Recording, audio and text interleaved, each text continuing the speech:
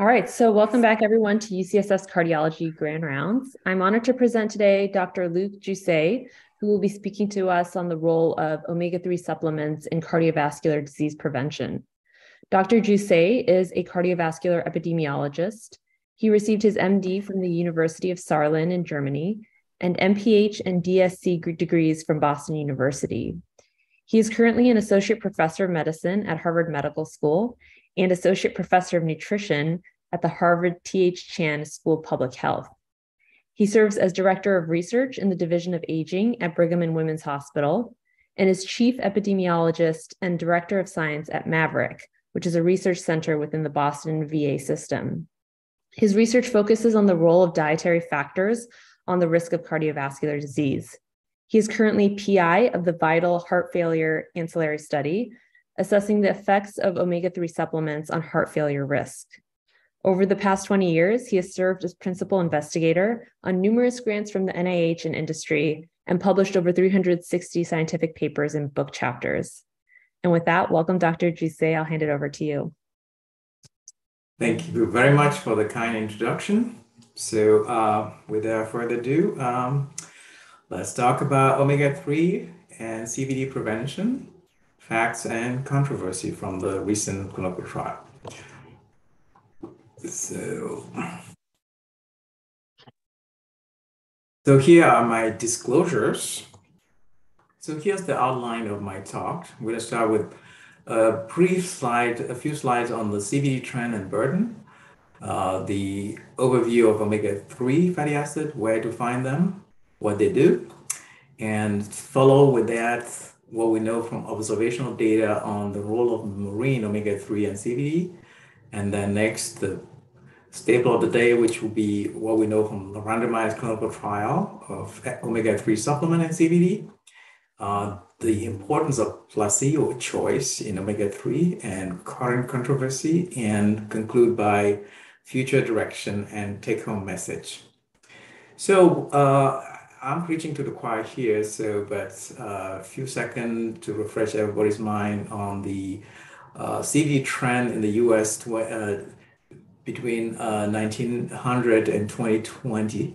Here, with a peak in the 68 uh, and the decline, although mid 2000, we're seeing an increment partly fueled by obesity epidemic and subsequent diabetes. So we flat, we zoom a little bit on the uh, drop between 2000 and 2018. We can see that there's a, a, drop in CHD incidence from nearly 200 uh, per thousand to uh, nearly 100 in 2018.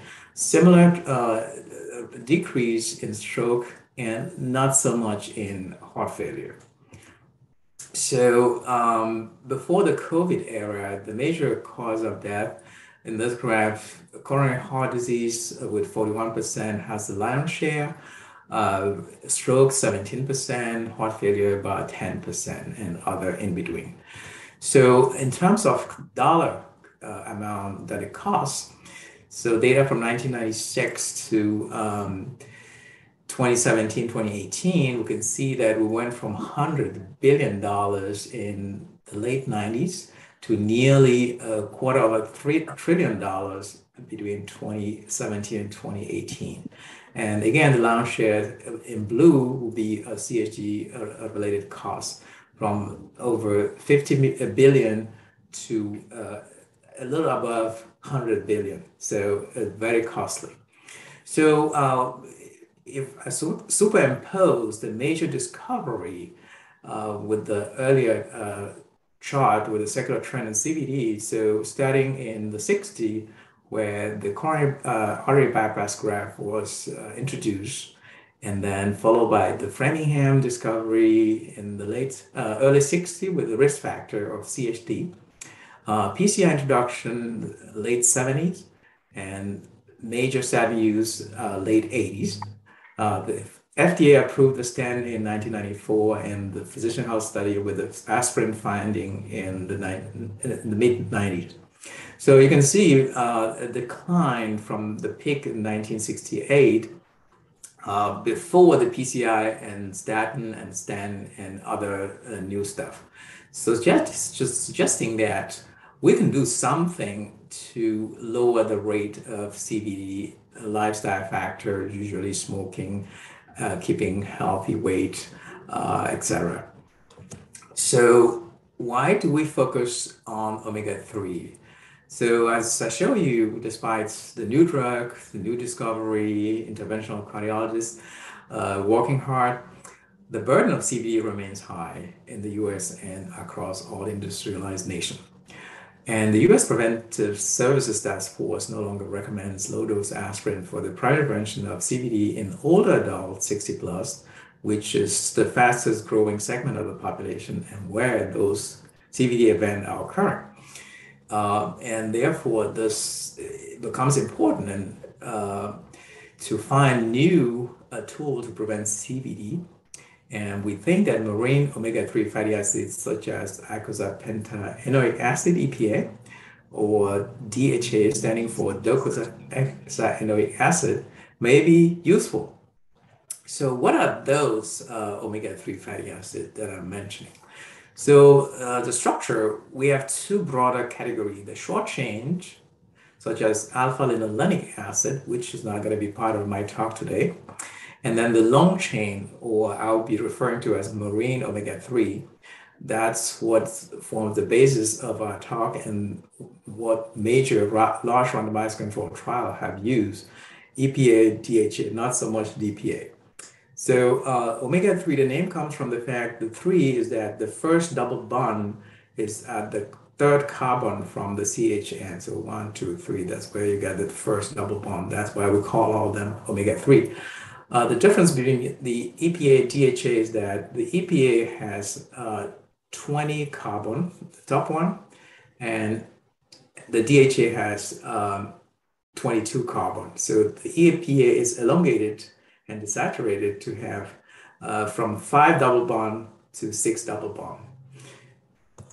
So where do we find omega-3 uh, fatty acid? The marine one, the long chain one, seafood, eggs, meats, dietary supplement that you can buy in a store or prescribe in terms of uh, ethyl ester. So most Americans will find the omega-3 in fish. So this table to focus on the first two column, which uh, points out where you can get your omega-3 without buying the pill. Salmon, you get about two gram per 100 gram of fish. Salmon anchovy, herring, mackerel. The lean fish, they, don't, they tend not to have a larger concentration of uh, EPA and DHA. Although the ALA can be converted into EPA in vivo, that elongates and desaturates activity is very inefficient. So I wouldn't bank on eating flaxseed oil to uh, as a major source of my omega-3. So what do we know about the physiology of omega-3, in particular EPA DHA? Uh, number one, uh, from clinical trial, uh, reduction of triglycerides. So the FDA approved um, Vascepa, which is a ethyl ester of EPA to uh, treat hypertriglyceridemia. Uh, we also know from short-term and sometimes long-term trial that they could uh, reduce inflammation reduce blood pressure and heart rate, inhibit endothelin-1 induced cardiac hypertrophy, or uh, block the production of natriuretic peptides, could improve endothelial function and arterial compliance, preserve myocardial structure and function, and, and block myocardial fibrosis, improve LV efficiency, and inhibit platelet aggregation and uh, sodium potassium channel and lastly, it could reduce the myocardial demand, oxygen demand. So based on these physiology, now you will see why we focus on CHD, heart failure, in particular when it comes to uh, the effect of omega-3. Uh, before we get to the trial, what was the uh, rigor in uh, observational data that led to the large intervention trial? So fish intake as a major source of EPA DHA in relation to CHD. This meta-analysis show comparing highest versus lowest that there was a 17% lower risk of CHD with fatty fish consumption, but nothing with lean fish. Uh, and you go back to the slide the content of EPA DHA is mostly prevalent in fatty fish. When it comes to CVD combined, uh, this dose response relation to the left panel here, EPA inversely related with CVD, and to the right, uh, DHA inversely related to CVD in these meta-analysis. Similar response with CAD uh, on the left EPA and on the right DHA, suggesting that uh, EPA DHA may be beneficial from observational design. So here, just showing the effect, uh, the signal stronger with fatal CAD, like fatal, uh, fatal MI, um, uh, more so than non-fatal CAD or sudden cardiac death with stronger uh, effect size. So when it comes to stroke, um, fish intake in this meta-analysis show a 9% lower risk of stroke comparing the highest with the lowest. That's to, uh, ischemic stroke. Uh, and no benefit for hemorrhagic stroke when it comes to fish. Uh, when we derive EPA DHA from the diet and relate to ischemic stroke, here we're seeing that there's a 12% lower risk. So you, you're counting not just fish, but other sources of uh, EPA DHA when you uh, sum up what people are eating in their diet. And when it comes to hemorrhagic stroke, unlike fish, uh, we observe here in this meta-analysis 35% lower risk of uh, hemorrhagic stroke comparing uh, highest versus lower marine omega-3. Those response relation with total stroke show an inverse relation, nonlinear, but um, the nadir around uh, half a gram per day. And when it comes to heart failure, our, uh, we learned from the cardiovascular health study that uh, if you compare infrequent consumption of tuna or broiled baked fish, uh, the more you consume, the lower your risk of developing heart failure. And the magnitude of effects about 30% uh, lower risk comparing uh, three to four broiled or baked fish per week versus less than one per month. But the benefit is limited to bake or broil. If you fry your fish, you reversing and it becomes harmful. Uh, here in this case, CHS show fried fish was associated with nearly 40% higher risk of uh, heart failure. And these findings were uh, replicated in the Women Health Initiative. So don't fry your fish if you like fish. Bake or boil or uh, whatever you do, do not fry it here, this meta-analysis uh, looking at fish and heart failure by 15% lower risks comparing highest versus lower intake of fish. And Swedish uh, women's uh, studies show uh, inverse relation between dietary uh, omega-3 and risk of heart failure, hospitalization, or mortality. And in Swedish men, similar but not significant suggestive of a J shape. So where the nadir is around 0.4, 0.5 grams per day. So again, uh, when you uh, focus on EPA DHA um, that you can estimate from the diet, you have about 14% lower risk of heart failure comparing the highest with the lowest risk. And if people would argue, well, self-report is bias, recall bias on measure uh, confounding. Uh, what about objectively measure like phospholipid or cholesterol ester? Here in CHS data, measuring plasma EPA and relating it to heart failure risk, uh, those respond inverse relation. Um, and here, the uh, dietary long chain omega 3 overall from different sources, not just from fish, uh, but other foods, uh, comparing highest with the lowest intake, you get about 16% lower risk of heart failure. You analyze this continuously, you get about 6% lower risk of heart failure per standard deviation increment of EPA and DHA in the diet. So what about objectively measure EPA and DHA in blood? So the effect size becomes stronger than estimate through the diet in that you have 41% lower risk comparing highest with the lowest uh, intake of uh, circulating EPA and DHA. And then as per standard deviation, 18% lower risk of heart failure per standard deviation increment of serum EPA and DHA.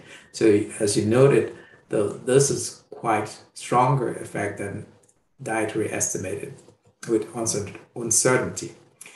So, uh, so far there's plenty of uh, evidence suggesting that dietary, whether assessed by food frequency questionnaire or measure objectively red blood cell plasma uh, could have some benefit with respect to CHD, maybe stroke, and heart failure.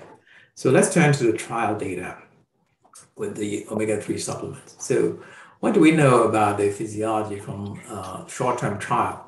So the benefit of EPA DHA on coronary plaques. So here, uh, comparing um, EPA with placebo, here, with exception of one Japanese observational study, all the studies here are randomized control trial. We see that there's some benefit of assigning individual patient to EPA DHA and the risk of uh, developing coronary plaques. And the thought is that the plaque would reduce in volume upon administration of EPA DHA. So here, uh, what do we see with when we measure uh, plaque volume in the coronary arteries? So you can see from these uh, small, medium-sized clinical trial that uh, lo and behold, the hypothesis is true that um, administration of EPA DHA reduces the size of the coronary plaques. So does it translate to heart endpoints such as MI? And here again, using uh, these available trial data with uh, EPA and DHA, we can see that assignment to EPA DHA resulted in 14% reduction in MI compared to placebo. And I'm going to zoom a little bit in the vital, which was included in the previous slide. So there's some effect modification to take note of. Number one, the effect is stronger in the people eating less fish, 40% reduction of MI in people eating less than 1.5 servings per day. That's a median intake in the vital population and 77%, almost 80% reduction of MI in African American assigned to one gram per day of EPA DHA versus uh, olive oil placebo. And lastly, uh, 43% reduction of MI in people with two plus uh, cardiovascular risk factor. So the interaction is significant in all those. So traditional MACE, uh, as primary endpoint, the effect is not uh, large, only 5%, partly because diluted with non-CAD event where the effect size is minimal. But uh, when we examine as dose response relation, uh, EPA, DHA, and CVD overall, including the REDUCE-IT trial, there's about 9% reduction of CVD uh, risk per gram of EPA, DHA. It's a linear. Uh, when it comes to stroke, uh, so far from large randomized trial of EPA DHA supplement, overall benefit is null. Uh, the only blip on the radar is the REDUCE-IT trial that showed 27% reduction of stroke with icosapent ethyl versus mineral oil placebo. Everything else, it's either null or the opposite direction. So when we hone into the REDUCE-IT trial, we learn that it's not all stroke. It's the benefits is restricted to ischemic stroke with 36% um, reduction of ischemic stroke and no benefit whatsoever for hemorrhagic stroke. Uh, second to the uh, last row here with hazard ratio of 1.28. So uh, one thing we got to remember is that the REDUCE-IT show benefit on stroke, but it was restricted to ischemic stroke, not hemorrhagic stroke. So how does that compare with the other means of reducing uh, stroke, like aspirin, statin, or intensive blood pressure treatment? So here, uh, statin uh, compared to placebo reduced the risk of total stroke by 15%. That's still smaller compared to what we show in REDUCE-IT, 36%. Blood pressure, uh, intensive blood pressure treatment, the SPRINT trial, show um, 11% non-significant reduction in total stroke. Um, and when it comes to aspirin, there's some benefit observed in women for total stroke, 15% reduction, and no benefit in men when it comes to aspirin. And for ischemic stroke, uh, the effect size is stronger in women, 24% reduction of ischemic stroke in women, and no benefit in men. When it comes to hemorrhagic stroke, aspirin, um, if anything, uh, it's borderline not significant, but it's going the right direction as you would expect uh, with platelet aggregation uh, being inhibited. Uh, so what about atrial fibrillation? So the prevalence of atrial fibrillation currently around um, 8 um, million, uh, but projection 2050 could be 12 million or uh, 15 million, depending on the increase or stagnation of the rate. So all the trial, all the large trial from VITAL, SN, strength, uh, risk and prediction, reducer, GCR, uh, and the omega-3 in elderly patient with MI show an increased risk of AFib.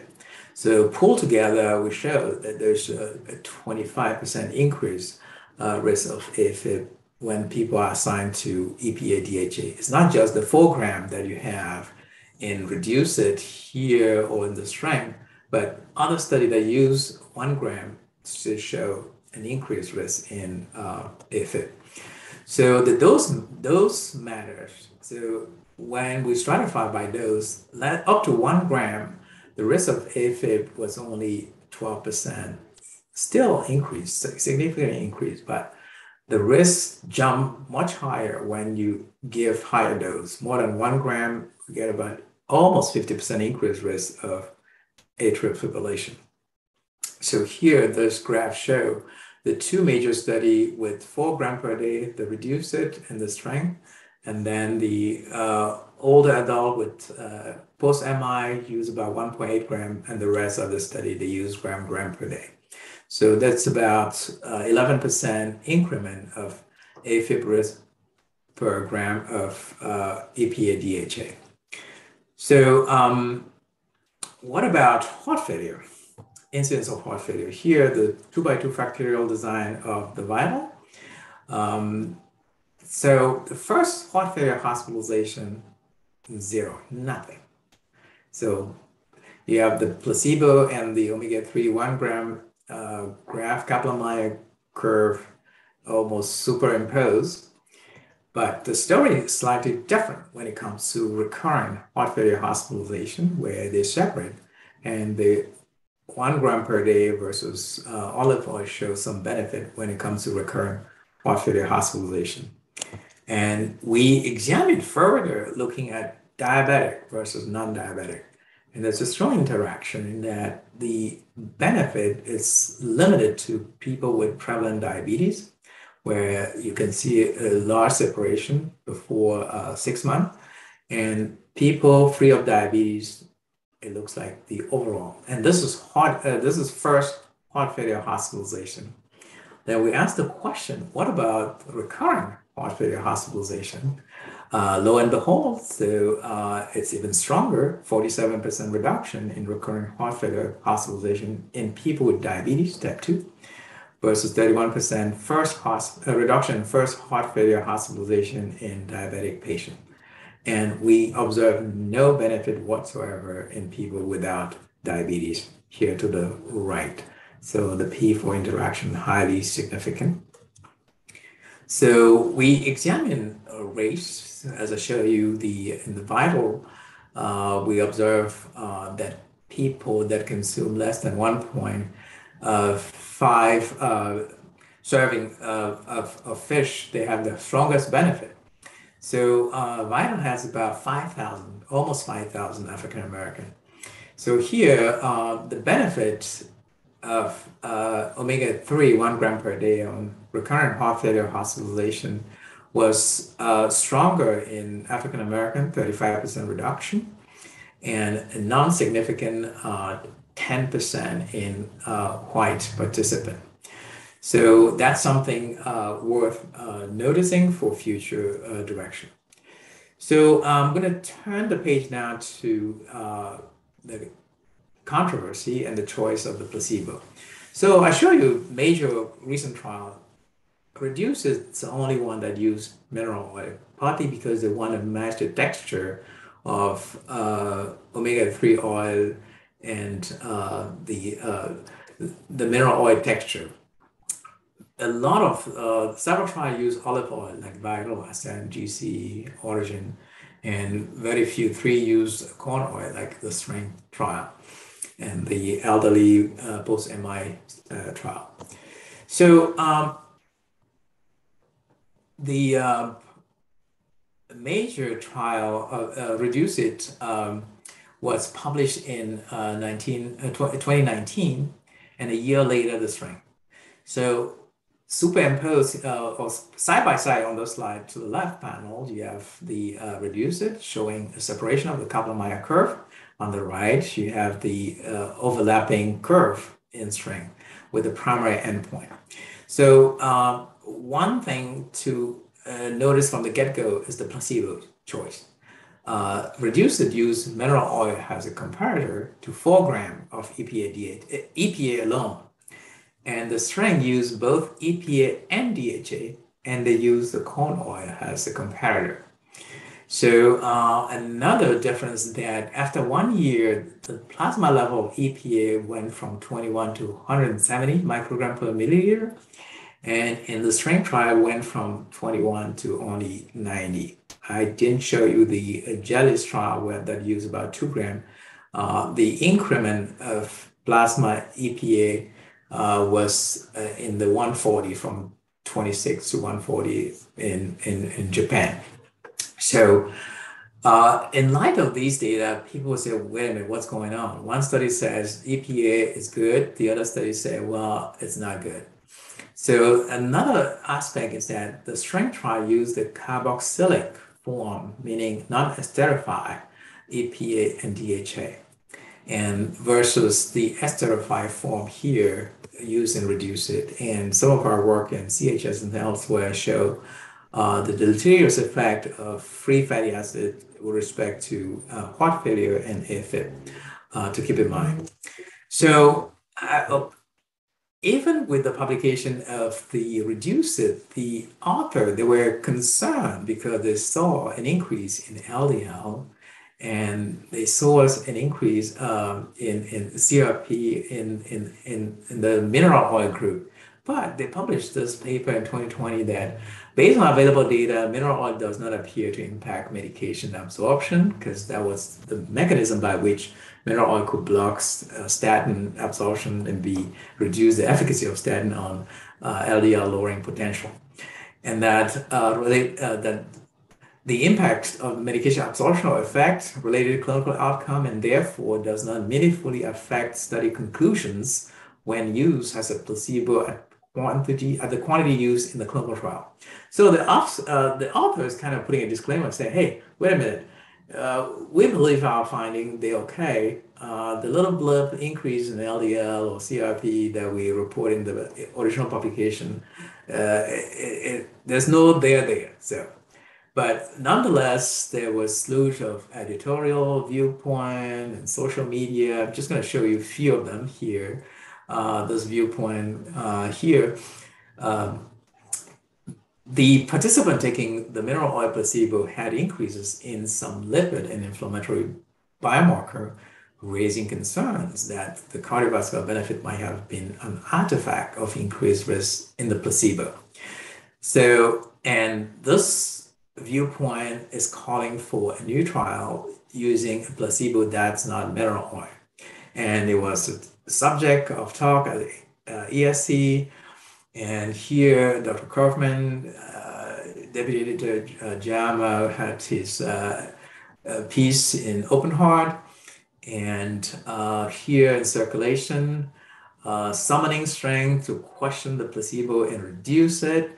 Um, here in social media, Dr. Krumholz at Yale took to TikTok. he has a lengthy monologue here, his take on the Reduce-IT finding. Uh, here, the Atlantic, fish oil is good. No, bad. No good. No weight. So people kind of all over the place not uh, know what to do. Or here in uh, MD Edge, smoking gun, new Reduce-IT data rekindle controversy over its placebo. But I'm going to spend maybe a few seconds more on this editorial by Bob Harrington in Circ uh, last year, where uh, it's more uh, measured in that quote. The data presented raised a difficult question not of whether icosapent ethyl improves clinical outcomes in high-risk cardiovascular patient, but of the magnitude of that benefit and whether that benefit is sufficient, sufficiently robust for recommendations to guide clinical practice. So basically, uh, he's also calling for a new trial to settle uh, this debate. What does mineral oil do uh, that could take away the benefit reported and Reduce-IT? So here, taking about 160 CKD patient undergoing uh, hemodialysis, you focus on the, right part of uh, this slide here, looking at CRP at time zero, 60 uh, days and 120 days. There's no difference in uh, CRP in this group, but it's a peculiar group.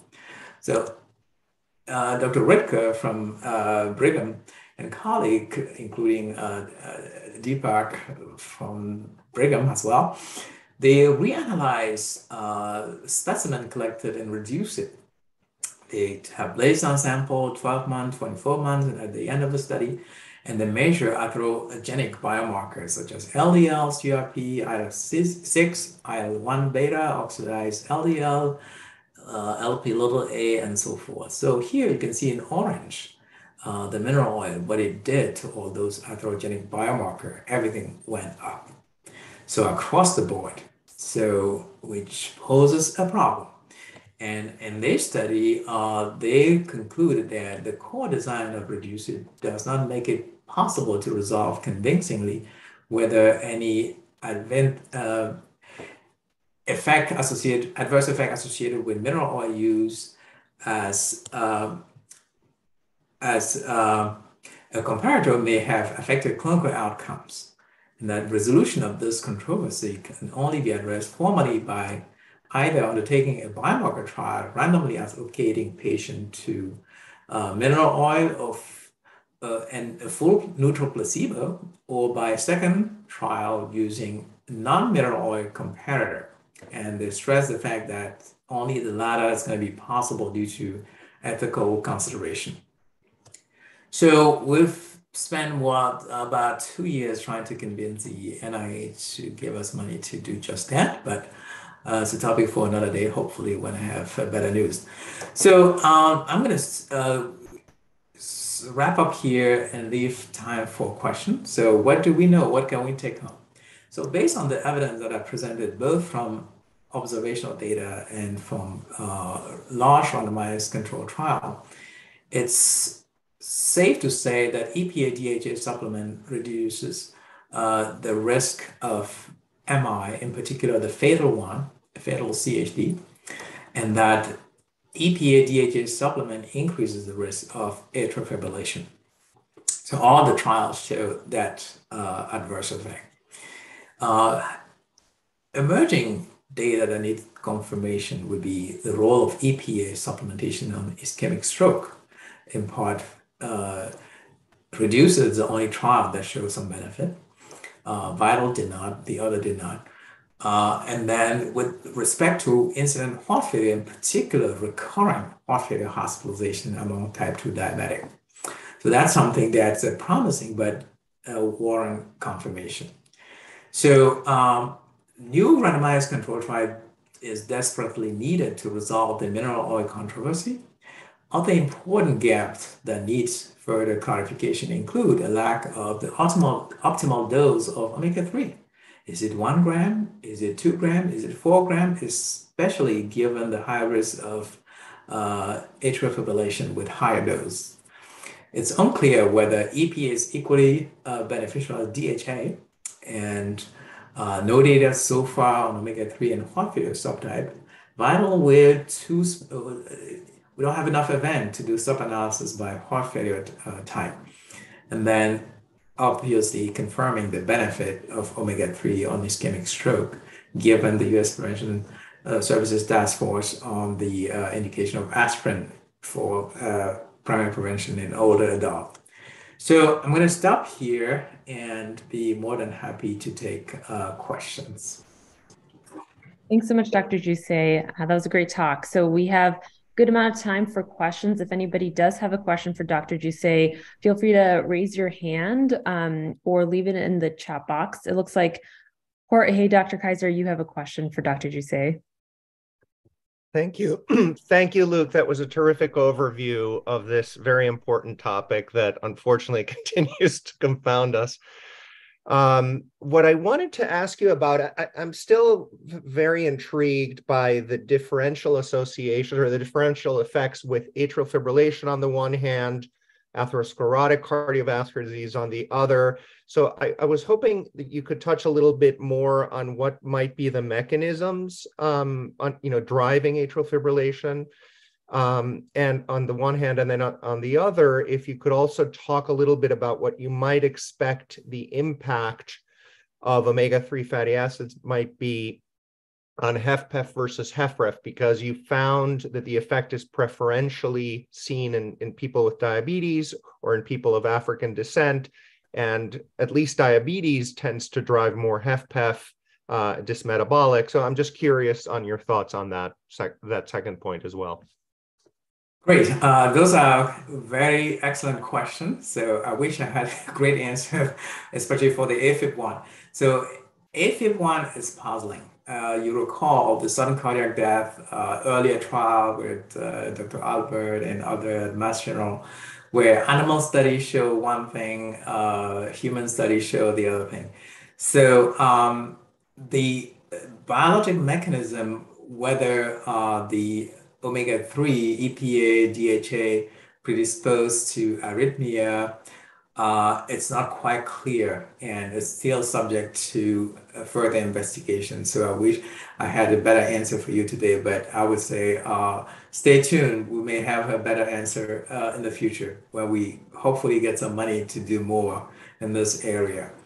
Uh, to the second question, um, when it comes to the subtype. So uh, vital, unfortunately, we don't have enough. We have about 20, the most 60 subtype, because not everybody, as you know, uh, they either don't consent for medical record review. By the time they give consent, they move and you don't get what you need. Uh, it's really hard. So I don't have enough data, but uh, a first peek at what we have, it's exactly what you suggested. We're seeing stronger effect with HFpEF than with HFrEF. Uh, so, um, but it's too small. That's why that paper hasn't gone anywhere because I'm still hoping that uh, we're going to get more record, even though it's false to assume that upon several years that the tri-ended people can still be analyzed as intention to treat people. They may have switch crossover, what have you, but still, uh, it would be enough pilot data to convince uh, the NIH or industry or both to say, okay, let's look closely into this. Uh, do we see a differential effect, HFpEF versus HFrEF, when it comes to EPA DHA?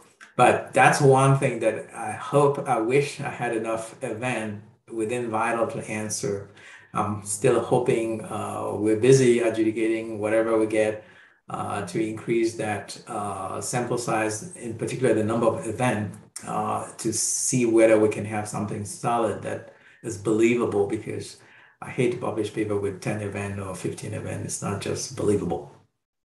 And just a quick follow up. thank you. Just a quick follow up for the recurrent heart failure hospitalizations. So at baseline, what was the mix of HFpEF, HFrEF at entry into the trial? Do you have data on that?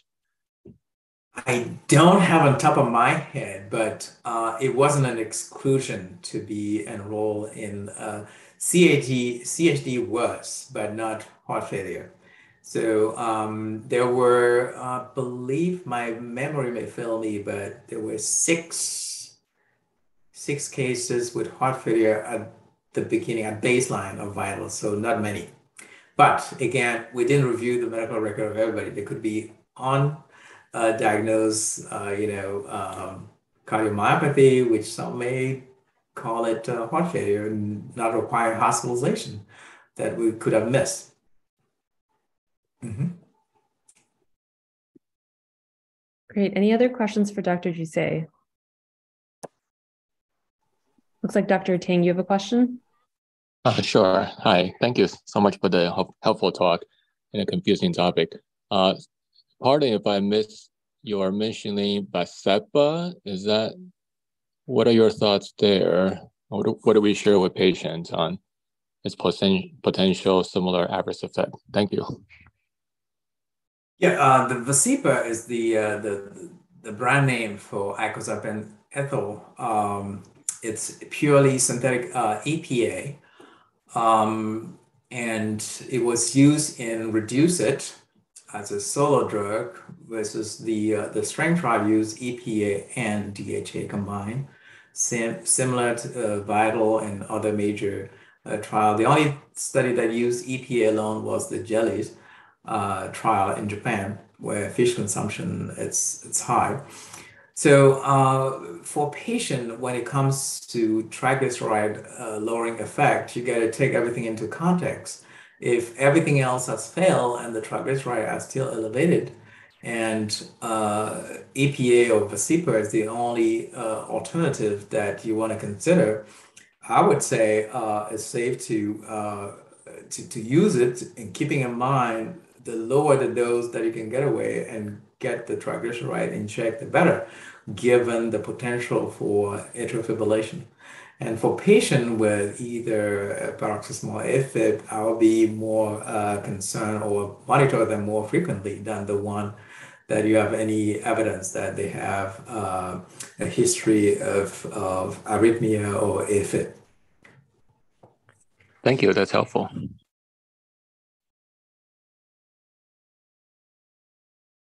Any other questions for Dr. Djousse?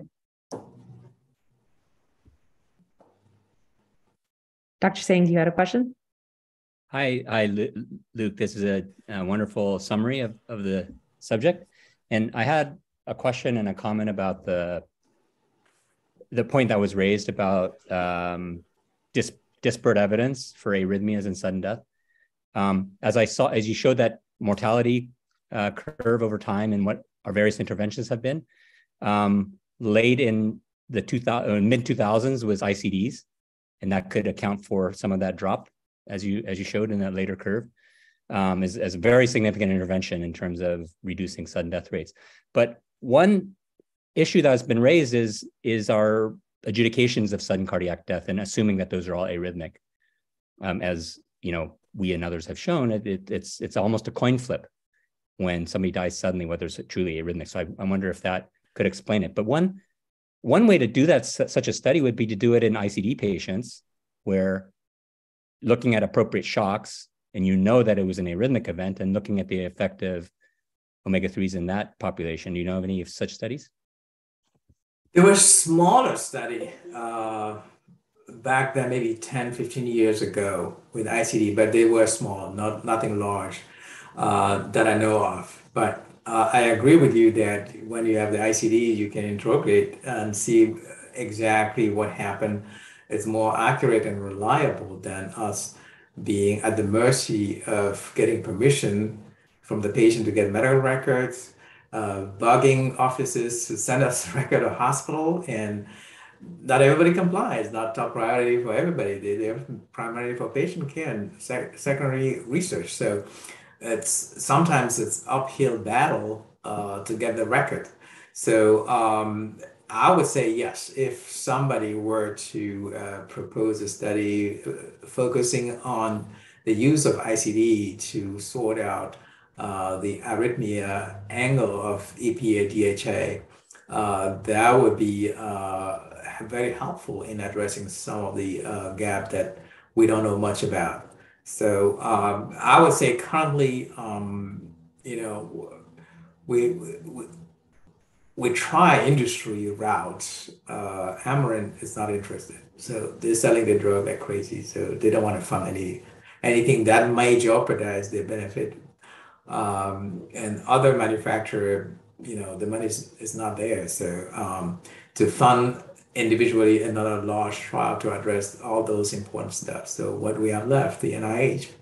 Uh, so NIH, the first time we approached them, they say, well, uh, 60 million, absolutely not. So, uh, and, and they rather fund, they go to fund about 100 R1. So why give uh, most of that money to one study? So we're, we're, being creative, uh, trying to negotiate uh, lower indirect or removing indirect costs on the drug and partnering with uh, generic manufacturer to see if we can lower the cost of the drug uh, and the placebo. And finding some institute that will co-fund like selling the and I, I, think we were able to convince the NINDS that stroke is important that based on this solid evidence that we have, at least something to verify, that's better than aspirin, statin, and blood pressure lowering. Um, and we're still working on the third partner, the VA, see VA can help out with the co-funding. Um, and then next month we have another meeting with uh, Dr. Goff at the NHLBI to see if he he he has some appetite for the new number budget number that we have. So give permission to, for such endeavor to, to move forward. So, uh, because if that thing were to take off, so that would be an opportunity to build in those uh, questions, uh, probably through ancillary study, which will be a regular R1 mechanism to answer the ICD uh, uh, question or other uh, question that could be answered in the setting of control trial it, you could easily do a retrospective study now and look at um, remote interrogations and ICD shock rates and then exposures in those patients to see if there's additional support for the hypothesis. That would be relatively easy to do retrospective. And then, then you have even more ammunition to, uh, you know, hopefully get funding. That's true. the bandwidth. So if you have uh, you, if, if you know anybody who might be interested, yep, you have um, you have, you have a great online. group of EPs there at Brigham. I'm sure uh, you know they they could maybe it'd be easy to look. Pretty sure they're busy frying bigger fish. who knows? But yeah, no pun intended. I won't give up easily, but uh, any any idea, any suggestion that's helpful. It's for the sake of good science, helping patients. So uh, I agree. Mm-hmm. That's great. Any any other comments or questions for Dr. Djousse?